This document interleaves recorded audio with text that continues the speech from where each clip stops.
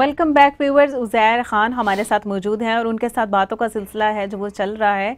जी उज़ैर मुझे ये बताइएगा कि आपने ऑल ओवर द वर्ल्ड काम किया है। जी जी। और uh, मुझे ये बताइएगा कि सबसे ज़्यादा अच्छा रिस्पांस आपको कहाँ मिला? मैंने जी बहुत जगह शोज़ किए। एक्चुअली मैं यहाँ पे एक चीज़ क्लियर कर दूँ कि वहाँ पे कनाडा अमेरिका लंदन में हम अपने शोज़ ऑर्गेनाइज करते हैं। हम सात पार्टनर हैं। और जिसमें हम हायर करते हैं जिसमें शाहरुख खान साहब आते हैं मिक्का सिंह आ गए। अच्छा। और सलमान खान और ये जितने भी बॉलीवुड के सिंगर्स और एक्टर्स हैं। तो हम मुझे जो सबसे ज़्यादा फिर उसमें मैं एज आ होस्ट और कॉमेडियन उसमें मैं अच्छा। करता हूँ पार्टिसिपेट मुझे सबसे ज़्यादा जो मज़ा आता है ना दो लोग हैं। एक गोविंदा जी के साथ जी। काम करने का बहुत मज़ा आता है और एक मिक्का सिंह के साथ। अच्छा। ये दो लोग हैं कि ये आपको चांस देते हैं आपको उठाते हैं। अच्छा सर मुझे ये बताइएगा चांस की बात की जाए तो जी, जी। ये मोस्टली ये परसेप्शन है कि पाकिस्तान में टैलेंट की कदर नहीं की जाती जी। जी। तो डू यू एग्री दैट हाँ मैं यहाँ पे एक छोटी सी बात बताऊँ कि मेरी पाकिस मुझे अफसोस रहेगा लेकिन अल्लाह का शुक्र है मुझे शिकवा नहीं कर रहा लेकिन एक चीज़ कर रहा हूँ कि मैंने पाकिस्तान से अपनी शुरुआत की मेरी पाकिस्तान में वो पहचान नहीं बन सकी और मेरे फ़न को एक्सेप्ट किया इंडिया ने जी। ठीक है। आज मुझे लोग काम दे रहे हैं पाकिस्तान में आज मुझे लोग इतना चाह रहे हैं मैं एयरपोर्ट में आता हूँ लोग आ जाते हैं मीडिया आ जाता है मेरे पीछे। तो भाई मैं तो था ही पाकिस्तानी। जी। एक ज़माना वो था जब मैं पीटीवी के बाहर धक्के खा रहा होता था। पाकिस्तान ही में थे और आपको कोई पूछता तब मुझे कोई पूछता हाँ, नहीं था। जैसे ही मेरे साथ ब्रांड लग गया जैसे ही मेरे फेसबुक पे शाहरुख खान आ गया जैसे ही मेरे फेसबुक पे अमिताभ बच्चन साहब आ गए मिक्का सिंह साहब आ गए उन्होंने चार बातें मेरे लिए कर दी मैं एक्टर बन गया। जी। आज आज तो फिर जब बंदा बन जाता है हम्म। फिर तो जब मैं मैं छोटा था जब मैं एक्टर नहीं था जब मैं स्ट्रगल कर रहा था। जी। और आज कल मैं ये देखता हूँ कि बहुत से ऐसे लोग हैं जो धक्के खा रहे हैं। ठीक है? अच्छा गलती दोनों की है। मैं अच्छा। बहुत ही जस्सत से काम लूँगा कि गलती उनकी भी है जो चांस नहीं दे रहे और गलती उनकी भी है जिनको चांस क्यों नहीं मिल रहा। अच्छा। ठीक है? They don't know history of acting अच्छा। सबसे पहली फ़िल्म कब बनी किसी को नहीं पता। अच्छा। सबसे पहला ड्रामा कौन सा था दुनिया में किसी को नहीं पता। ठीक। ठीक है? फरदौस जमाल कौन है किसी को नहीं पता। न्यू टैलेंट की बात करो। फरदौस हाँ वो टीवी में देखा हुआ है वो अच्छा वो वाले अच्छा। ठीक है? कोई जाके यूट्यूब ने इतना अच्छा आपके लिए कर दिया कि आप पुराने ड्रामे फ़िल्में निकाल के सीखें कुछ। ठीक है? तभी तो आपको चांस मिलेगा। लेकिन ऐसा भी होता है कि टैलेंटेड लोग ये फ़रदौ जमाल सुहेल अहमद कवी खान ये जितने बड़े लेजेंड्स हैं पाकिस्तान के ये भी किसी ज़माने में पीटी के वी- के बाहर इनके पास चाय के पैसे नहीं होते थे। आज ये बने क्यों? कि इनके पास टैलेंट था इनके पास इल्म था। जी। आजकल के लड़के लड़कियाँ मैं कतरीना लगती हूँ मैं करीना लगती हूँ मैं ये लगती हूँ मुझे डांस ऐसा आता है मुझे ठुमका ऐसा मारना आता है। लड़का कहता है ये मेरी बॉडी है ये मेरे सिक्स पैक्स हैं। लाइन बुलाओ तो उन्होंने आंदी नहीं। अच्छा। तो ये दोनों की गलती है। अच्छा। तो उज़ैर मुझे ये बताइएगा कि अब जब आपने अब काम शुरू किया है इतना एक्सपीरियंस आपने गेन किया है as a writer producer director और कॉमेडियन uh, भी तो सबसे ज़्यादा काम किस चीज़ को करने में मज़ा है आपका? मुझे इमोशनल एक्टिंग uh, का बड़ा शौक है। अच्छा। मैं कभी भी एज ए ना मुझे वो रोल नहीं अच्छे लगते कि जी लड़की साहब बैठा है हीरो है शादी नहीं हो रही। बाबा नहीं मान रहे तो मामा नहीं मान रही ये करेक्टर नहीं मुझे करने आते। मुझे वो लंगड़े का करेक्टर है कैसे करना है? एक डिसेबल का करेक्टर जिन्होंने मैंने अभी आपको बताया राजू अच्छा। का मैं करेक्टर करता हूँ। वो वो करेक्टर है एनर्जी आपके अंदर से निकलती है। लाइक मैं आपको वो एक छोटा सा एक चीज़ करके दिखाता हूँ राजू कि वो मेरी पर्सनैलिटी से बिल्कुल डिफरेंट है ऑपोजिट है। लाइक वो जो मेरी फ़िल्म आ रही है राज, जो आ चुकी है राजू का क्या बने वो ये है क्या हाल है आपका हम्म, मैंने ना वो चाय पीनी है चाय चीनी वाली वो ना हमारी अम्मी ने ना चाय बनाई ना तो वो ना छोटी रानों की ना इधर टांग में गिर गई गिर गई और जल गई जल गई तो वो चाय भी नहीं है मुझे चाय पिला ले प्लीज़ ये है वो वाओ वेरी रियलिस्टिक तो इसमें आपकी ना एनर्जी लगती है हाँ। कि आ, ये है। मतलब मैंने नहीं वो न्यू जनरेशन में जो मैं पाकिस्तान में मैं स्कूल क्यों खोलना चाह रहा हूँ? मैं इसलिए खोलना चाह रहा हूँ कि जो मैंने अनुपम खेर आर्ट से स्कूल से सीखा जो मैंने अमिताभ बच्चन साहब के स्कूल से सीखा जहाँ जहाँ मैं गया मैंने सीखी चीज़ें तो मैं चाह रहा हूँ कि मैं वो उठा के अपने मुल्क में लाऊं। लाइक टैलेंट को प्रमोट कर सकें आप। डेफिनेटली अभी भी मेरी बड़ी अच्छी एक टीम बनी हुई है जिसमें मोहसन मलिक साहब है। अच्छा। पढ़े लिखे बच्चे। हैं काशिफ हैं उस्मान सईद हैं ये तीन चार लोग हैं क्योंकि मैं जब कनाडा से आया था तो मैंने यहाँ पे अलहमरा में ट्वेंटी थ्री अगस्त को मैंने एक न्यू टैलेंट शो किया जिसमें ना मैंने स्पॉन्सर उठाया। मुझे नहीं पता था स्पॉन्सर कैसे उठाते हैं क्योंकि मैं कैनेडियन था मुझे नहीं पता यहाँ पे मुझसे भाग दौड़ नहीं होती जेब में आपके पैसे हो आपको ज़रूरत ही नहीं है किसी की। मैंने अलमरा हॉल बुक किया मैंने न्यू टैलेंट को बुलाया मैंने उसको डायरेक्ट करवाया कर करा के मैंने एक सुपर हिट फैमिली शो दिया। जिसमें डांस भी था जिसमें कॉमेडी भी थी जिसमें सीरियस एक्ट भी था मतलब हर चीज़ उसमें आपको मिली।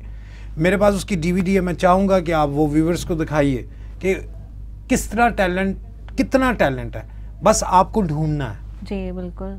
और उजैर मुझे ये बताइएगा कि आप अगर अपने टैलेंट की बात की जाए तो आपको कितना टाइम लगता है किसी भी करेक्टर को में खुद को ढालने में कितना टाइम आप लेते हैं? वो ये होता है कि जब आपकी एक हो जाए ना सर्कल में आप आ जाते हैं कि चल सो चल करना ही है तुसी। तो वो पहले पहले होता था कि मैं फ़िल्में देखता था ये देखता था लेकिन अब ये है कि देखिए मिमिकर दो किस्म के होते हैं। मैंने पहले भी आपको इंटरव्यू से पहले बैक द कैमरा आपको एक चीज़ अर्ज़ की थी कि कुछ मिमिकर्स ये होते हैं कि वो सिर्फ़ आवाज़ निकाली उनका एक्सप्रेशन नहीं है। जी। लेकिन मैंने इस पर काम किया कि मैं वो ही लगूं। वो इंटरव्यू कैसे देते हैं? वो फ़िल्मों में काम कैसे करते हैं? वो अपनी ज़ाती ज़िंदगी में कैसे हैं? तो मैं हर चीज़ अडॉप्ट की मैंने। ठीक है? उनके फिल्मी डायलॉग्स नहीं मैंने ज़्यादा किए। उनके इंटरव्यूज़ देखे। सुहेल अहमद साहब आम ज़िंदगी में कैसे हैं? बातें कैसे करते हैं? फरदौर जमाल साहब, टीवी के आगे क्या है? पीछे वो किस तरह बात करते हैं? सुनील शेट्टी, असल में क्या है? पीछे क्या है? तो ये सारी चीज़ें मैंने तो अब टाइम नहीं लगता। शुक्र अच्छा यहाँ पर मैं व्यूवर्स को बताती चलूँ कि उज़ैर खान जो हैं वो बॉलीवुड की अपकमिंग प्रोजेक्ट है जिसमें अक्षय कुमार और सोनाक्षी सिन्हा के साथ भी ये मूवी करने जा रहे हैं। जी उज़ैर उसके बारे में बताइएगा अपने उसमें किस तरह का करेक्टर आप निभा रहे हैं? वो एक कहानी है कैनेडियन कहानी है। वो उसमें ये है कि जिस तरह होता है ना हम हम लोगों में होता है कि अच्छी बीवी लानी है माँ बाप कहते हैं। और एक कैनेडियन लड़का है जो कनाडा में ही पला बड़ा है जो क्लब्स जाता है जो उल्टे सीधे ड्रग के काम करता है जिस तरह याश लोग दिखाया तो सोनाक्षी सेना के साथ मेरा ये होता है कि इंडिया में उसके साथ शादी होती है। मेरे माँ बाप उसकी शादी कर देते हैं परेश रावल साहब मेरे फादर का रोल कर रहे हैं उसमें। तो मैं उनको फिर ले आता हूँ कनाडा तो वहाँ पे मैं ना क्लब में लेके अपनी बीवी का मज़ाक उड़ाने जाता हूँ। अच्छा। कि वो साड़ी पहनी हुई है वो देखो ये साड़ी वाले गंदे लोग इंडियन लोग इस तरह इस तरह करता तो मैं कहता हूँ ये देखो हम कैनेडियन ये देखो गोरे ये वो। तो वहाँ पे एक बॉडी गार्ड होता है अच्छा। जो अक्षय कुमार साहब होते हैं। ओके। तो वो वो लड़की रो रही होती है अकेले में जाके तो फिर अक्षय कुमार की वहाँ से उनकी आपस में स्टोरी चलती है किस तरह मुझे मार पड़ती है क्या होता है? मेरा एक नेगेटिव रोल है उसमें। ओके okay, लेकिन फिर भी हमारे बेस्ट विशेस आपके साथ आपके मूवी के लिए। और अगर जिस तरह से पहले एज अ कॉमेडियन आपने अपनी पहचान बनाई और यहाँ पर लोगों ने आपको काफ़ी अप्रिशिएट किया और आपको काफ़ी ऑफर्स हुई और बॉलीवुड पे मूवी करने के बाद अगर पाकिस्तान में आपको एक्टिंग की ऑफ़र हो तो क्या वो एक्सेप्ट करेंगे आप? मैं प्रोजेक्ट्स कर रहा हूँ टीवी का काम मैं कर रहा हूँ लेकिन फ़िल्म अभी मुझे कुछ ऑफर्स हुई हैं लेकिन मेरे टाइप के करेक्टर नहीं है। उसमें मुझे क्या ऑफ़र होता है जी? एक जगह मैं बता रहा हूँ यार मैं अनाड़ी बना खिलाड़ी कर रहा हूँ। ऑफ़र मुझे दे रहे हैं जी वकील का रोल है डॉक्टर का रोल है वो फलाने का रोल है वो हीरो के भाई का रोल है। मुझे करेक्टर चाहिए जिस तरह अभी मैंने आपको राजू करके दिखाया यू नो मुझे करेक्टर करवाएँ। और दूसरा ये कि अभी तक जो आपने एक सवाल पहले भी मुझसे किया था कि बॉलीवुड तक पहुँचना आज के ज़माने में मैं नहीं समझता कि अभी भी पाकिस्तान पहुँच सकता है। क्यों? अच्छा। एक अब क्या रीजन है उसके पीछे? यही है- इसकी आप कमज़ोरी कहाँ आपको लगता है कि यहाँ पे वीकनेसेस हैं उनको ओवरकम करने से हम उनका मुकाबला कर सकते हैं? सबा जी का? देखें एक ज़माना वो था जब मैं बचपन में था या मुझसे पहले फ़िल्म को कॉपी किया जाता था इंडिया वाले। ड्रामे भी कॉपी करते थे फ़िल्में भी करते थे। तो वो भी तो किसी ने बनाई थी ना? जी।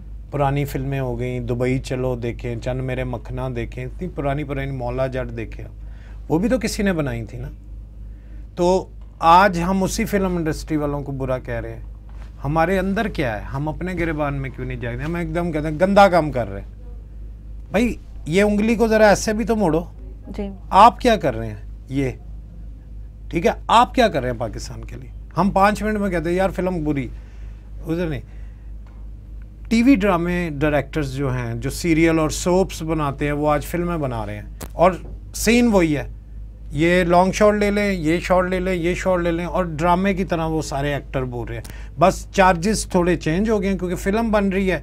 वो दस लाख ले रहा है तो वो पंद्रह लेगा तो इस तरह करेगा ये करेगा। लेकिन हमने वो फ़िल्म वालों को कब्रों में दबा दी है।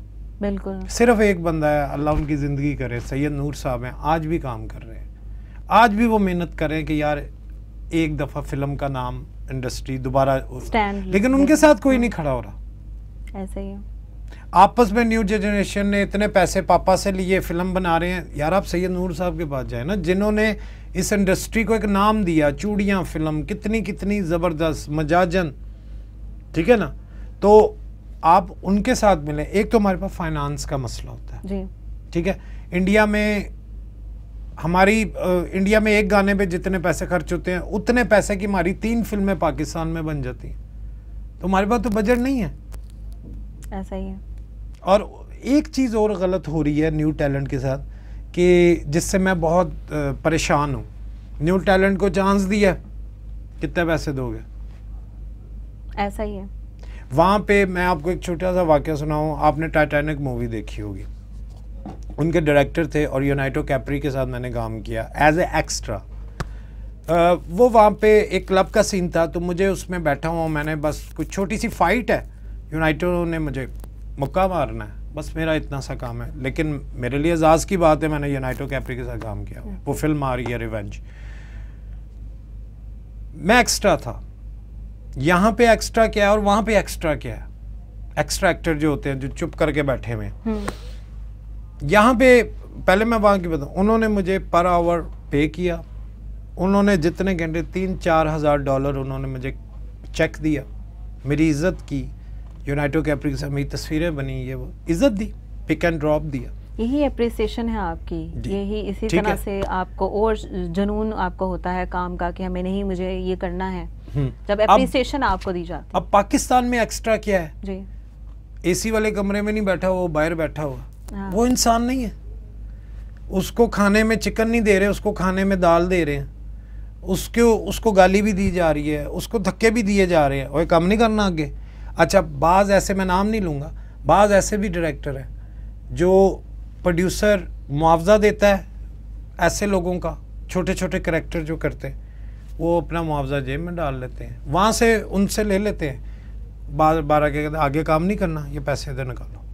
अच्छा सर मुझे ये बताइएगा कि आप जैसा कि आप न्यू टैलेंट को प्रमोट करने के बारे में बात कर रहे हैं कि आपके फ्यूचर प्लान्स हैं न्यू टैलेंट के जी डेफिनेटली मैं एक बहुत बड़ी एक टीम बना रहा हूँ और मेरे माशाल्लाह मुझे बड़ी अच्छी टीम मिली है जिसमें मैंने पहले अर्ज़ किया मोहसिन मलिक साहब हैं काशिफ साहब हैं। ये लोग पढ़े लिखे यूनिवर्सिटी से आए हुए तो मैं इन फ्यूचर इन्हीं लोगों को इस काबिल करना चाह रहा हूँ कि हमें और किसी सुपरस्टार की ज़रूरत ही ना पड़े। कि मैंने इन फ्यूचर इन्हीं से काम लेने हैं। ये बात। अच्छा उजैर खान मुझे ये बताइएगा कि सबसे आखिर में मैं सब गेस्ट से पूछती हूँ कि एंटरटेनमेंट जोन में आपको आकर कैसा लगा? जी मुझे बहुत अच्छा लगा बल्कि सारे एक्टर्स को अच्छा लगा। मैं उनकी आवाज़ में आपको बताता हूँ। लाइक अब अमिताभ बच्चन साहब कहेंगे। जी। ज़रूर।